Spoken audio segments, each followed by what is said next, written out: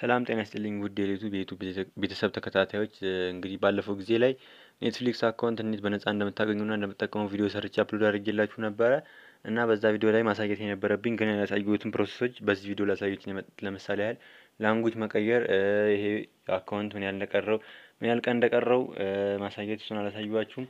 ለምሳሌ አሁን በቢጫ ያለችውን የፈገግታዋን ምልክት profile ነክቼ ስገባ እዚህ ጋር ማናውቀው ቋንቋ ነው። እዚህ ጋር ይሄው እንደምትመለከቱት Spanish ኛ ይመስለኛል። ይሄው እንደምትመለከቱት series ምናምን ነገር ከላይ categories ለማለት በሌላ አይነት ጽሁፍ ነው የመጣው። እንደገናም ደግሞ ቪዲዮን ብትከፍቱት በ Spanish ኛ ነው በ Español የሚባለው ቋንቋ በስፔኖች መሰለኝ እና በዚህ ቪዲዮ ላይ እንዴት ቋንቋ እንደመቀየሩ አሳያችኋል። ማለት ከላይ profile ምልክታችሁን ከነካችሁ በኋላ ወደታች ዝቅ አድርጋችሁት cuenta cuenta የምትል መሰላለች መሰለኝ እሷን ስትነኩት ቀጥታ ወደ browser ይወስዳችኋል።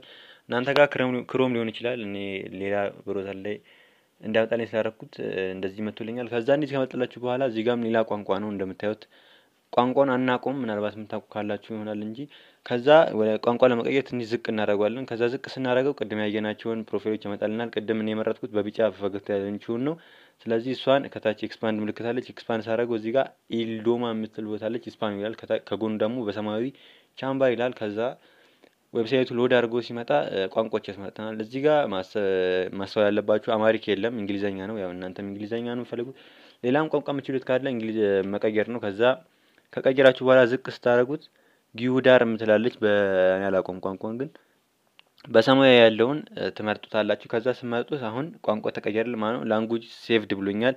ቅድም እንደምታደርጉ እዚህ ጋር change account change account email ምናምን change password change phone number ምናምን የሚለው እዚህ ጋር በእንግሊዘኛ ነው። ከዛ ትንሽ ዝቅ ስናደርጉት your next billing date is February 28 2022 ይላል። February 28 2022 ነው ይሄ account የሚያበቃው ማለት ነው። አገልግሎት ጊዜው እናንተን መታችሁ ማየት ትችላላችሁ። የትንሽ account ተጠቅሜበት ነው ቪዲዮ የሰራሁት እና የዛሬ ቪዲዮ ይህን ይመስል ነበር። በዚህ መሰረት መቀየር ትችላላችሁ።